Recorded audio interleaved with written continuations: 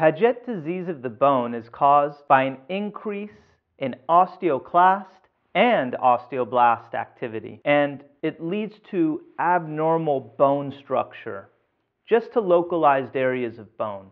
The bones become thickened, but although they're thickened, they actually fracture much more easily. Why this happens is not well understood.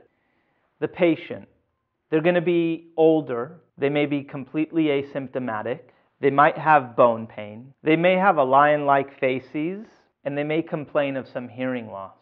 On physical exam, you might see an enlarged jaw or a deformed jaw. And when you order labs, the calcium and the parathyroid hormone should be normal. The alkaline phosphatase, now that's going to be elevated because of the high bone turnover.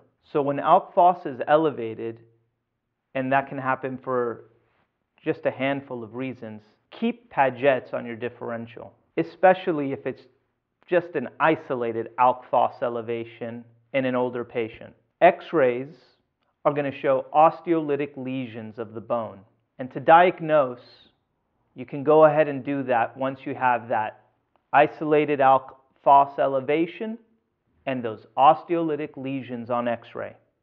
That's all you need. When it comes to treatment, you can use bisphosphonates, which causes an apoptosis of the osteoclast cells. But remember that there is that rare side effect of osteonecrosis of the jaw.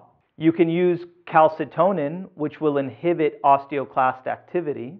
Also know that Paget's disease is also associated with osteosarcoma on the metaphysis of the long bones, usually surrounding the knee. So if a Paget's disease patient complains of pain in that area, they do deserve some imaging.